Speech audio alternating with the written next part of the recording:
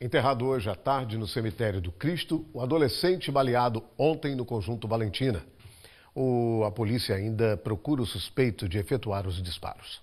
Apenas parentes mais próximos estiveram no velório. A mãe da vítima, que não mora na capital paraibana, veio assim que soube da notícia. Ele era meu filho mais velho, eu senti muita falta, entendeu?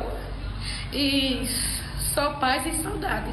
Adolescente de 14 anos de idade, Porto de Fetina de Figueiredo. Essa